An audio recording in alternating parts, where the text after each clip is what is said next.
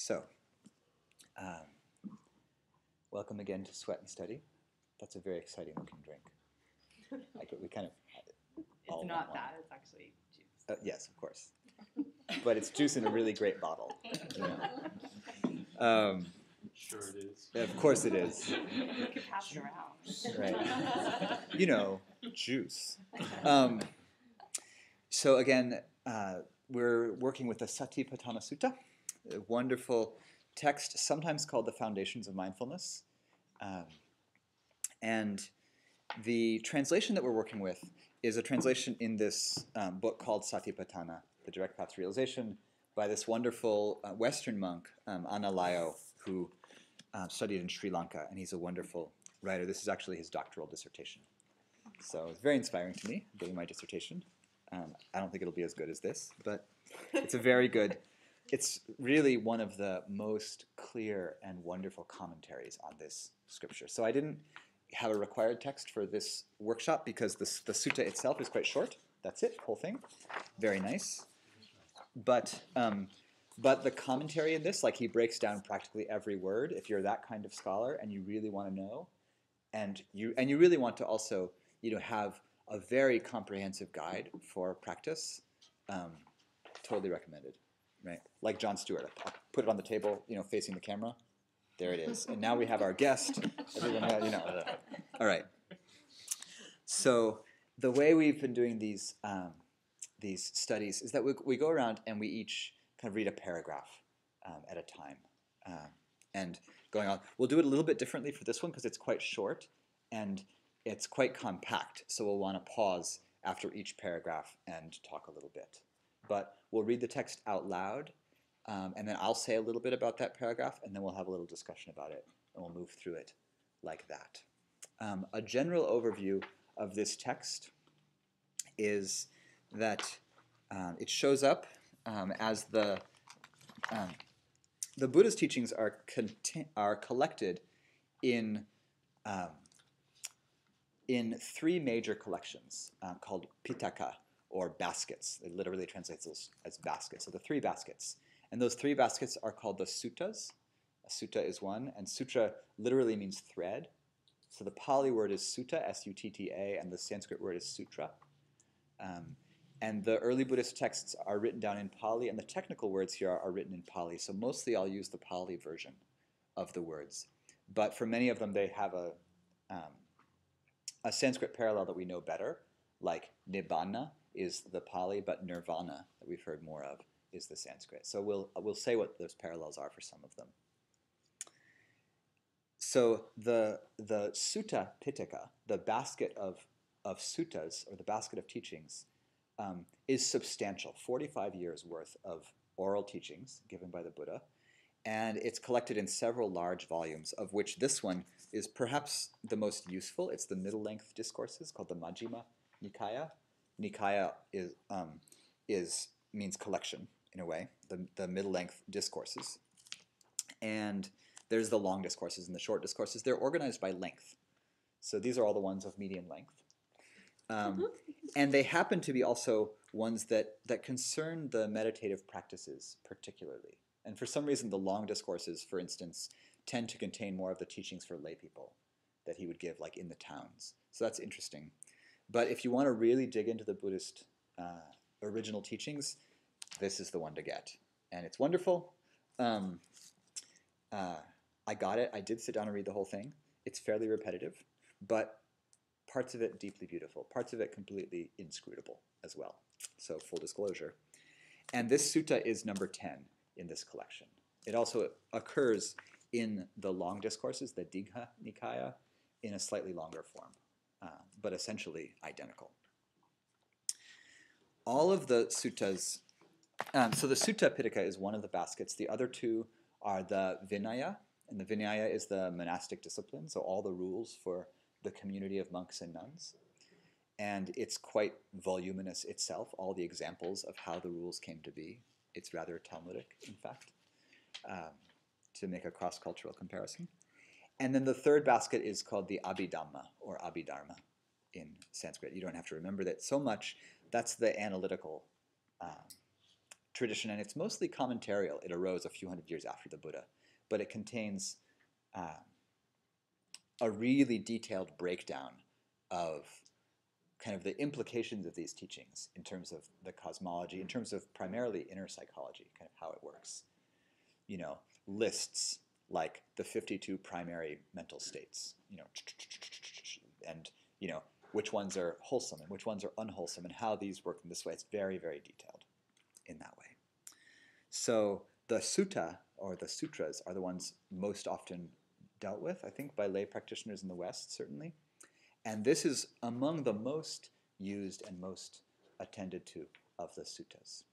Uh, the suttas range in subject all over the map, lots of them on ethical teachings, lots of them different kinds of parables or metaphors for practice, many of them that describe meditation practice as a deeply concentrated or focused practice called jhana. We'll talk about that a little later on.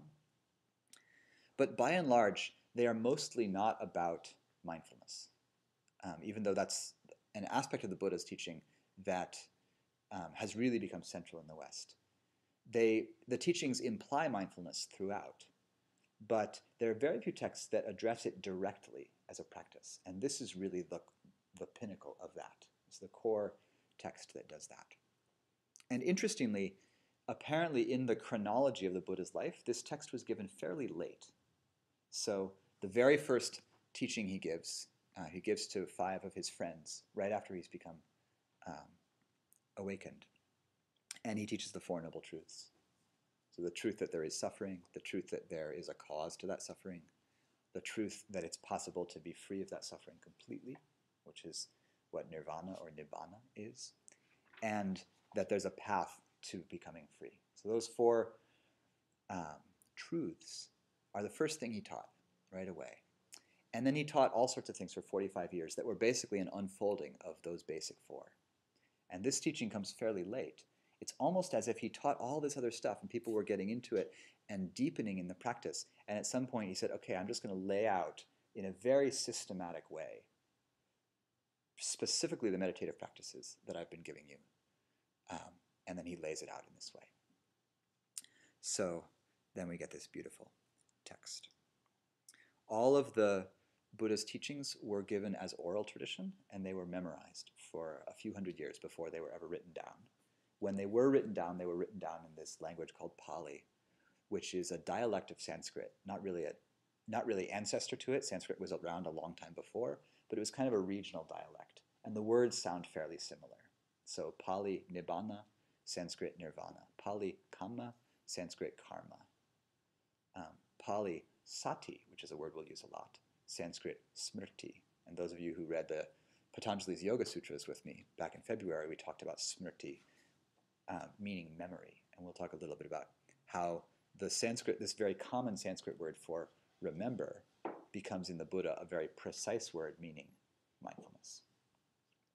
So, the reason that we have all of them, certainly the mythical reason that we have all of these texts, is that they were all remembered verbatim by the Buddha's cousin, Ananda, who became a monk some years after the Buddha began teaching. And uh, Ananda's this wonderful figure. I love him. Sarah loves him too. Um, he was the Buddha's cousin. He became really enraptured with the Buddha and teachings, became a monk, um, and became the Buddha's attendant. Um, and upon becoming the Buddha's attendant, he uh, he gave a few stipulations. He agreed. The Buddha asked him to be his attendant, and he said, "Well, I will, um, only if you will promise me these things. One, that you give me no favors whatsoever. Like you don't treat me differently than any other monk. And if I need to be reprimanded, you reprimand me like any other monk. Right? And two, that you don't give me any special treats like sleeping in your room or special food when you get special food. Like he really made sure that he wouldn't be kind of get preferential treatment. And then he said, and this is sort of the kicker, he said, and if you will repeat to me all of the, that I can be present for every discourse you give, and the ones that I'm not present for, you will repeat to me if I wasn't there, and that you will repeat to me every discourse you ever gave before I showed up. right. So he was a completist, right? He would say. you know, he's like the guy that collects every episode of Doctor Who from 1963 on. Oh my God, I missed one episode of Jon Pertwee in 1967. I got to get it. Right. Um, that was partly an in joke for Ben Wergaft, uh, who loves Doctor Who, and it was a tiny window in, into Sean as a teenager at the age of 13 with a collection of VHS tapes as long as the Sutta Pitaka on his bookshelf. Really, suffering has no bounds. So, um, so the Buddha agreed to all of these requests, and he repeated for Ananda every discourse he had ever given until Ananda showed up, and for his whole life, spoke to Ananda every single discourse, or Ananda was there. Ananda has, mythologically, um, a perfect memory. And after the Buddha dies, all of the high up monastics get together and, um, and they have a conference. And Ananda stands up in front of the conference and repeats from memory everything the Buddha ever said from the beginning. And the monks, right, oral tradition, fabulous memory, began to memorize it. And they memorize it verbatim for hundreds of years. And, and they read like oral traditions, So they're a little sing songy at times, and there's a lot of repetition. In these translations that we use nowadays, there's a lot of little ellipses, as in, you know, that same whole paragraph again. So maybe a couple times we'll, we'll go back and read that paragraph. It's actually nice to read the, ellips, the ellipses rather than just saying, yeah, yeah, yeah, yeah, yeah, yeah, but to go back and read it again because you get a sense of how these things were spoken and you remember them. If you say the same thing over and over again, you're going to remember it too. And we then join this lineage of oral transmission of this text that's been going on for 2,600 years and shows no sign of slowing down. There are actually two monks in Burma right now that can repeat the entire Pali Canon. So all three baskets of the, which is like a ton of words. It's like it's like 10 Bibles length of words. Can repeat the whole thing from memory. They do it at hyperspeed in a kind of a sing-song chanting. And they're they're quite they're quite lauded. They're quite respected um, in Burma, and they're teaching a couple of tiny little boys who have shown talent to do the same thing. Whoa. Yeah. So. Um, so all the suttas begin with this beautiful line, "Thus have I heard." Right? It's kind of traditional. It's come down to us from the Victorians. "Thus have I heard," and which means that what we're hearing is Ananda. So this is this is the voice of the suttas at the very first Buddhist council, and Ananda stands up in front of the monastics and says, "Thus have I heard. I heard it this way," and everyone's saying, "Oh, I, I heard it from Ananda. Thus have I heard. This happened." Right? So Ananda becomes an object of devotion if you love these texts, because without that memory, we wouldn't have it, right? So,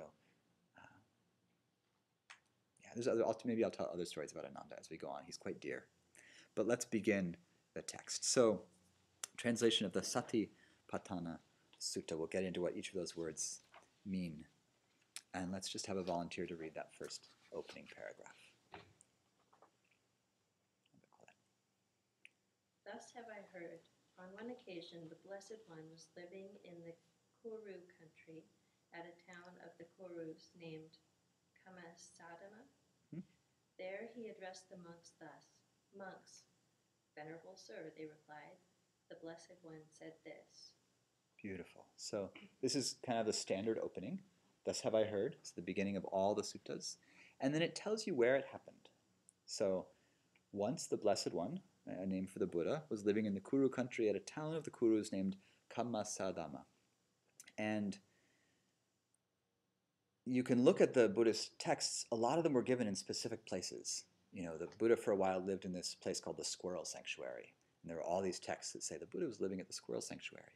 or, you know, the Buddha was living in Jeta's Grove, Anathapindika's park. And this, that's this particular place that has a little story around it you know, or was living at, at Deer Park. He gave his first teaching at, at Deer Park outside of Sarnath. He didn't give very many teachings at, at in the Kuru country at Kammasadhamma. So not only is this text given late, but it's given in an odd place.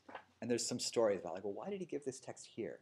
You know, who was there? And there's sort of stories about how that how that happened. But um, anyway, it tells us where he was, and all the texts kind of start by just saying what happened. He says, "Hey, monks, Bhikkhus is the word. Bhikkhu just means one who's left the lay life for the homeless life.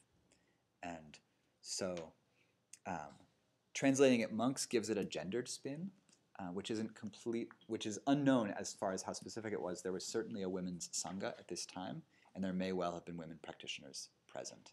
Uh, he always just said bhikkhus, but it meant everybody that was there. And everybody that was there in the Buddha's time meant what is called the fourfold sangha. And the fourfold sangha means ordained men, ordained women, lay men, and lay women. And so these kind of four classes of people are said to have been present at many of the teachings. So when they when he says monks, we can, uh, for all intents and purposes, assume that it means us. In other words, anyone practicing. So bhikkhus, those of you who have left home and have entered the the path of rootlessness or the path of not relying on the illusion of stability of the home, but you've gone out to to meet the world with no possessions, essentially, right? So we can take this mythically to mean ourselves, or we could take it quite literally and orient ourselves toward the, the formal monastics who uh, really did that. So he begins with this um, thing that said that Analayo uh, helpfully gives us little little uh, labels for each paragraph. He begins with this statement of the direct path. So let's have someone read that next paragraph.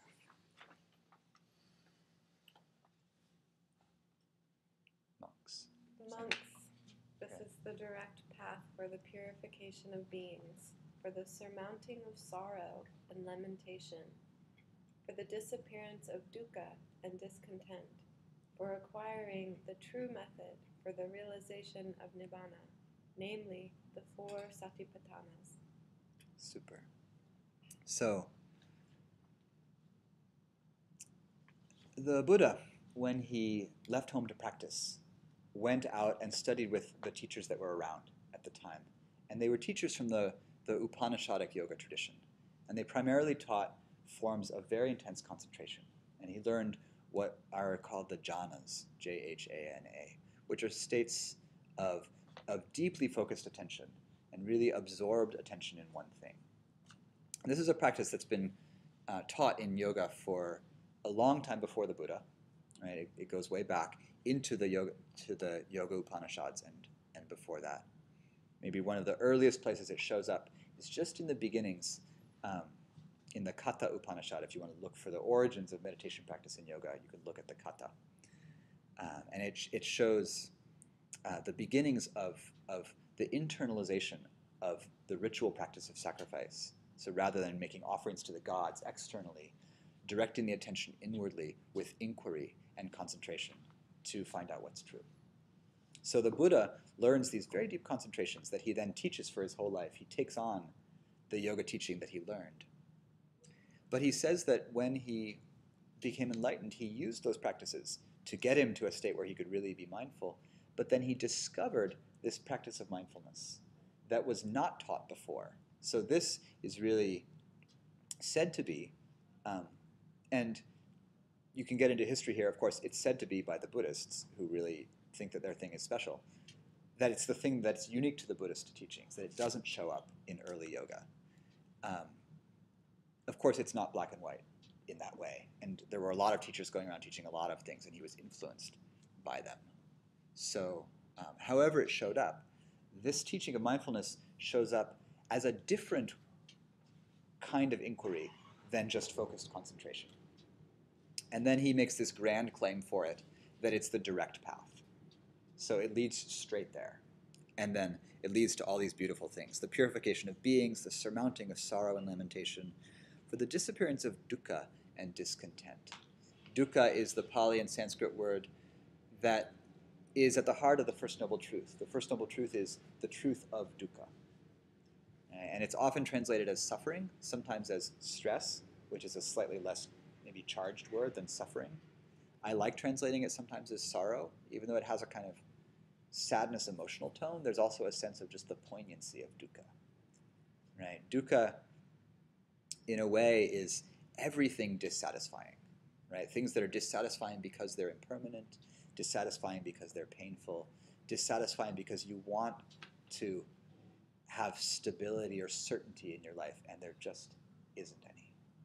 And so that's dukkha. And it's, it goes from the very subtle to the very gross. So here he promises this is the direct path for the disappearance of dukkha and discontent. For acquiring the true method, so through this practice, through this direct path, the true method or the way to liberation will be revealed or found. For the realization of nibbana, the making real of nibbana or nirvana, namely the four satipatthanas. Nibbana or nirvana literally means extinguishing. And the early metaphor is of a flame that's gone out because its fuel has been exhausted. So it's sort of like, it's not like you destroyed anything. It's not like anything even disappeared. Where does the flame go? Koan time, Zen koan. Where does the flame go when the candle is blown out? Right? Where does it go? It doesn't go anywhere, right? It's just done. And the conditions aren't there for the flame to still be going. When the candle burns down, there's no more wax, no more fuel, no more no more flame. Likewise, when there's no more source of suffering, right, which is the second noble truth, the source of suffering is clinging, really grasping on to wishing things were a certain way. Oh, the pleasant stuff I want, I hold on to it. Don't make it end. Oops, it ended. You know, the stuff I don't like, the painful stuff, make it go away, make it stop. Oh, it's not stopping. Right? That kind of grabbing onto how I want things to be, dukkha. Uh, it's called called tanha in in the Four Noble Truths. So that's the fuel, right? When you're done with that fuel, when you're done with grasping, the flame goes out, right? No more dukkha. So um, another literal translation for nibbana is that which is unbound. This one's is a translation used by a, a monk that I like a lot, Thanissaro Bhikkhu down in San Diego. Unbound. So that the flame was bound to its fuel before, and it's unbound. It like returns to where? To I don't know, nothingness, out. Right? You could get cosmological. Where does it go? It's unbound. Namely the four satipatthanas. And then a last little bit of etymology, satipatthana. So this translation, and I like that he does it, he just uses the word. He uses the Pali word, satipatthana. Um, other translations, like the one in here, this is Bhikkhu Bodhi's translation of the middle length discourses, Bhikkhu Bodhi and Bhikkhu Jnanamoli. Again, Bhikkhu just means, right, monk or beggar, often a prefix to a monk's name. And he uses what we kind of inherited from the Victorians, um, the foundations of mindfulness. And there's, um, there's a little etymological uh, um, disagreement around what the patthana part of satipatthana means. The, the commentaries, um, so again, this gets a little Talmudic. I'll try not to spend too much time here. But the, t- the, the commentaries derive patthana from, um, from the word for, for ground or foundation, like the foundation of your house. So these four foundations of mindfulness, it's basically divided into four kind of chunks of things you might pay attention to, are considered like, you know, the foundation of paying attention. It's a reasonable interpretation. That's how they're usually taught. That's how I was taught them. They're the foundations of mindfulness. They're the sort of building blocks of mindfulness. Um, comes in and says, well, not actually, not exactly. And he, um, um, let me see if I can get, give you his exact quote.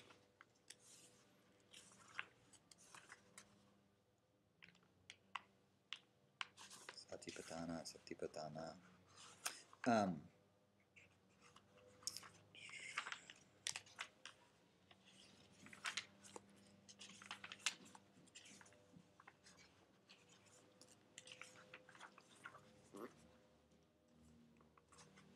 okay, here we go. So um, he says the Pali term upatthana literally means placing near and refers to a way of being present and attending to something with mindfulness. And that the commentaries actually derive it from a different word, patthana, foundation or cause. And then he goes through all the, the sort of you know reasons why that shouldn't be the right thing. When the when that term is used in other discourses, it means this, and goes through a whole thing. To say that calling it a foundation makes it in a way like it be how I would say it is like makes it a little less intimate. Like oh, it's a building block. Well, that's nice, but it's a way to bring near. Is the translation that he's preferring. So it might be a, subtle detail, but um, I actually quite like it. And then and then he just doesn't translate the word. Um, so rather than calling it a foundation of mindfulness, um, another translator calls it calls them frames of reference. So there's a lot of ways to translate the word. He just calls them satipatthanas. So we'll just we'll just use that. And then the word sati is the important word here. So sati is the Pali version of the Sanskrit word smrti, S M R T I, with a little dot under the R. And smrti is the Sanskrit word, as I said, that means memory. It, and it literally just means remembering. Oh, I had a memory of my childhood. I had a smrti of my childhood. The Buddha takes it on and and it becomes something like not just memory in general, but but remembering the object of meditation, or in a way, remembering the present moment. Almost like like, oh, I forgot to be present, and then I remembered. So there's this way that it's the aspect of remembering where you bring your attention to something. So, oh, I bring my attention to the present. I was lost in thought, thinking about dinner, thinking about a party later on. Ooh, I'm here now. I feel my body. I remember. And of course, the English word we like it a lot remember, to bring back together. So, sati, oh, remember where you are. Right? And Jack Kornfield, uh, my teacher, says this a lot. He says, remember who you really are. Remember who you really are. In a way, he's just saying, be mindful right, of being. Be mindful of who you are. So, sati then becomes, from remember, it becomes this very specific, like, re- don't remember the past. Remember the present. Remember where you are now. And then everything unfolds from there. So, sati is this beautiful word in that way. Any questions so far? This little intro. We've gotten two paragraphs in. We're doing great. Anything so far? Kind of the framing or the setup. All right, excellent. So the sutta is divided into four big chunks. The first one is the chunk um, around uh, mindfulness of the body. And as we get into it, first he gives you a definition of mindfulness. So let's have someone read that fir- that third paragraph, nice and kind of loud and clear for everyone. What are the four? Here, monks, in regard to the body, a monk abides con- contemplating the body, diligent, clearly knowing, and mindful, free from desires and discontent in regard to the world. In regard to feeling, he abides contemplating feelings, diligent, clearly knowing, and mindful, free from desires and discontent in regard to the world. In regard to the mind, he abides contemplating the mind, diligent, clearly knowing and mindful, free from desires and discontent in regard to the world. In regard to dhammas, he abides contemplating dhammas, diligent, clearly knowing and mindful, free from desires and discontent in regard to the world. Wonderful. So these are the four categories we'll look at. So I won't define them much now. We'll get into them as we're in as we're in there. The first one is body. With regard to the body, he and I again. I'll apologize for the the singularity of the gendered pronoun in this text. Um, and let's just take it that it means all of us. Um, And we can change it And while we can- it. while you're reading it, fun. change it all. The, I change them all the time, just randomly. Say he, she, they, whatever you want. You can use complicated postmodern pronouns. You know, H I R, um, S slash H E. You know, which I use all the time. I actually like that one very much. Um, so, uh, so uh, body. The second one, feelings, which doesn't mean emotions, uh, but we'll get into that. It means pleasant, unpleasant, or neutral. The third one, uh, mind, and the fourth one, dhammas. And uh, this is dhammas in its meaning, like things or things to pay attention to, and just set that aside for now. And we'll totally. It's the fourth foundation of mindfulness, which is the biggest of them and fairly complex. We'll dig into it in a couple weeks when we get there. The thing you want to really grok in this opening definition is the sentence that gets repeated over and over. It's, it's repeated because he wants you to really know it. Diligent, clearly knowing and mindful, free from desires and discontent in regard to the world. This is basically like practice in this way. Whatever you do, what- whether you're attending to this or that or this or that, do it all of it this way. So first, three qualities, right? Diligent, clearly knowing, and mindful. These are three complementary qualities. Um, I kind of grew up with this, grew up, you know, over the last 10 years anyway, with this translation. And so I just want to read um, the one that I'm used to uh, because uh, I like it also. I'll read just the beginning of the paragraph. What are the four? Here, bhikkhus. A bhikkhu abides contemplating the body as a body, ardent, fully aware and mindful, having put away covetousness and grief for the world. Ardent, fully aware and mindful, having put away covetousness and grief for the world. So I have to say that on a poetic side, I'm a little more with Bhikkhu Bodhi than Analayo here, mostly because I like this word ardent. So the Pali word that's being translated as the first of these qualities is atapi, um, A-T-A-P-I with long with longs over the A's, atapi. And atapi as a word is related to the Sanskrit word tapas.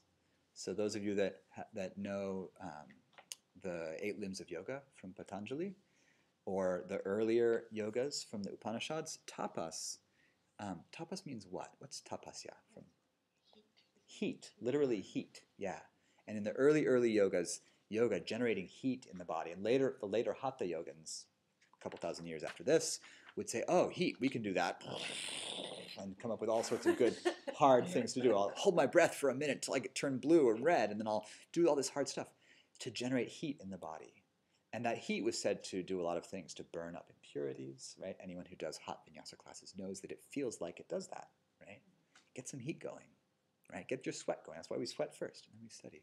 Tapas also refers to ascetic practices. So the practices of um, of mortification. You'll still see bhikkhus do this in India. Hold one hand aloft for 10 years until it totally withers. That's a serious tapas practice. I don't know really what it does because I don't know anyone that practices that. Um, but it's a very, very old practice. And the Buddha did these practices before he woke up. He did these practices where he barely ate anything, practically died, experienced all the excruciating pains possible to experience, he said. And he figured out that those practices don't actually lead to much that was useful. He said, Wow, I have done this, this mortification practice as fully as anyone. I'm near death, and they have not led me to happiness. And it was the turning away from tapasya as, as the mortifications that led him to what he called the middle way between extreme physical mortification and extreme indulgence. So he started off with indulgence, right? Born as a prince, lots of royalty, all the comforts of, of possible of his time. He went all the way the other way to the deepest mortification and almost died. And he came out saying, maybe there's something in the middle. maybe just maybe, right? I could be a little more balanced here. And and then as and then he went into his practice through the doorway of pleasure, which is great because it means that pleasure itself is not the same as indulgence, right? Indulgence in his in his worldly life was was food and comfort and houses and sex and music and all the luxuries that uh, the royal life could give at that time, right? And and asceticism was the most painful things you could possibly do in the forest and almost die. Halfway in the middle was a practice that many of us would still consider fairly extreme. He sat down under the tree. He said, I will not get up until I'm free. Fairly rigorous practice. And for many of us, that would be an intense tapas. Right? When I was in Burma, I went to see my teacher. He said, you know, I had all this experience. You know, I'm sitting, I'm doing this that. He said, how's your setting? Oh, it's pretty good. How long you sit? Oh, I can sit for about an hour. How's the pain? Oh, it's okay. It's okay. He said, oh, sit two hours. Okay. Whew. All right. Never sat two hours before. Went back. Looked at the clock. All right, I'm to do this. I generated atapi, some tapas, some fire. Okay, I'm going to do it. I sat for two hours. Right? I can sit for two hours. It hurts after a while. Ooh, my knees, my hips. Okay, but I did it. I went back to him. You know, how's your practice? Oh, you know, I have stuff to tell. He's like, how long you sit? So oh, I sit two hours. Um, how's the pain? Uh, you know, it got kind of painful, but you know, I could be mindful of it. I'm mindful of this and that here. You know, I could sit three hours. Like, dude, you know, one of our teachers, Joseph Goldstein, who helped found this tradition in the West, was told once by his, his teacher Dipa Ma, who was really fierce, incredible, incredible uh, woman. Wow, you want tapas? Like Dipa Ma, super devoted, passionate, incredible meditator. one day she says to Joseph, she says, "Hmm, Your practice is coming along. I think it's time for you to, to do a day long sitting. And she doesn't mean a day long retreat with some sitting and some walking and some mindful eating. She means sit for 24 hours. And he kind of laughed. He was like, eh, eh. and she and she's just smiled. He says totally sweetly. She says, "Don't be lazy." so, there you go. Tapas. Um, so atapi, um, Analayo translates it as diligent. In other words, stick with your practice. Don't fall off. Right? Bhikkhu translates it as ardent, which I like very much because it means get a little passionate about it. And for me, really, this means if you're going to keep practicing, because practice gets hard, you got to have a little fire. You got to have a little fire in the belly, right? And even more ardent, you have to love it. And I don't know if atapi meant get passionate about practice to the Buddha, but I have to assume that it must have. He was clearly passionate about it. Nobody would have sat through that kind of practice, through what it takes to really like go all the way without serious fire and passion for waking up. So he had it. Atapi. So he recommends it. It's the first of the qualities you got to have diligent, ardent, right? Perseverance. Get in there with your passion for, for waking up, for freedom. Diligent, clearly knowing and mindful. So, two other qualities. Clearly knowing basically means um, it's, it's not exactly the same as mindfulness. Clearly knowing, really, and, and Bhikkhu Bodhi um, translates it as fully aware, which I also like. It's a little bit like don't miss anything. You know, and when you're attending to something, know it clearly. So I'm seeing the little flickering LED lights, like that's what they are, you know, the little flickering fake candles. Know them clearly, right? So no fog in the mind. I see exactly what I see the shape, the lights, the flickering. I know what's happening, clearly aware of them, right? And the word clear shows up a lot, right? It shows up in the word vipassana. See clearly, seeing clearly. Clear, clear, right? There's something that the Buddha seems like he, he really said over and over was at the heart of this process of being free, which was actually not being deluded about what's actually happening, right? Seeing clearly what's happening moment to moment. So, you know, if I'm sitting here and what I think is happening is that I'm the great teacher giving a profound discourse and my students are looking at me with rapt, adoring gaze, I might not be seeing completely clearly what's happening. Right? I might be caught up in what we'll, what we call, you know, a samskara, or sankhara, um, a mental formation, a heavy thought, a, you know, a big old ego thought that is getting in my way of seeing clearly. It's a veil between me and what's actually happening. So mindfulness says, eh, watch out for getting all deluded.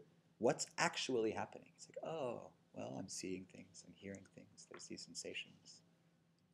Okay, right? So see clearly, fully aware, and then mindful. Remember what you're doing. Ah, so those three qualities, and then the, the kicker, the last one, it's sort of like you're supposed to practice this, even though it sounds like a fruit of practice, free from desires and discontent in regard to the world. When Ana- Analayo says it as free from, I almost feel like, "Wait, I'm not free from them yet. How can I do that? But Bhikkhu Bodhi says it a little bit more like a practice, having put away covetousness and grief for the world. It's a little bit like when I'm going to do the formal practice of mindfulness, I intentionally set aside my grief and my discontent. It's not gone. I'm not the Buddha yet. But I'm going to set it aside. And one of the ways that I that I can that I'll practice with this is like, okay, part of mindfulness then is don't complain. Right? Like stop complaining for a minute about the world. I'm going to set aside my grief and my covetousness, right? my grieving for, my wanting. Okay, stop complaining about things and just attend to them. Right? It doesn't mean I'm free from those desires. They're right there, right? Monkey on my back. But they're not driving the bus for the moment. Right? In order to do that setting aside might take significant atapi, might take some significant fire. So then, you know, that's what's required. That's why I think diligent or ardent is the first quality. You need it to do all the others. And then the others are the support for the path. More, any other questions on this?